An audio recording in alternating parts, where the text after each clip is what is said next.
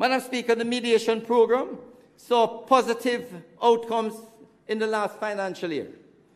This program, Madam Speaker, was launched in the island's parish courts on December the 1st, 2021 by MOJ, Ministry of Justice, and it formed part of our efforts to not only facilitate greater access to justice by the public, but also support the judici judicial system in its drive to reduce court clearance rates.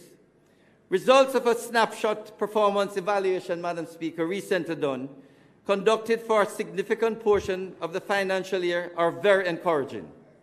Based on a representative sample of cases assessed from the mediation services between January and September 2022, it was found that 29% of the cases were completed on the same day. An average of 16 working days elapsed from date of referral to completion. 87% of the cases were completed by the next court return date, and 75% of the cases, Madam Speaker, were fully or partially resolved. 17% remain unresolved, and 8% pending. This, Madam Speaker, will assist the ministry in the further rollout and expansion of mediation across the parish courts, helping us, Madam Speaker, to speed up access to justice for every citizen who might ordinarily not be able to afford any other service. In some instances, Madam Speaker, these mediation services provide the opportunity to avoid litigation and the attendant costs and legal challenges.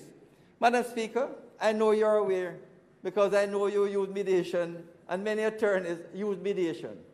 The truth of the matter is that mediation needs to be better used. Madam Speaker, when parties participate in mediation, they can control the outcome. When they go to court, they present their evidence and the judge rules. One party wins and the other party loses. The party who wins said justice has been done. the party who loses said no justice in the court. The truth of the matter, Madam Speaker, is that they need as much as possible to get a mediator to assist them to come to a compromise solution where each party give and take. Madam Speaker, especially, and I will come to that later in the Supreme Court, when they have matters pending, they have to be in court waiting four years and more to have a case tried. And I oftentimes explain to persons, can you imagine just what happened when two drivers come on Flatbridge and neither one wants to reverse, neither one wants to move.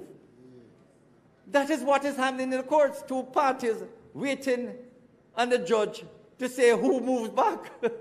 and Madam Speaker, as happened at Flatbridge, eventually, everybody comes, assists them, and say, we're waiting now, you move back.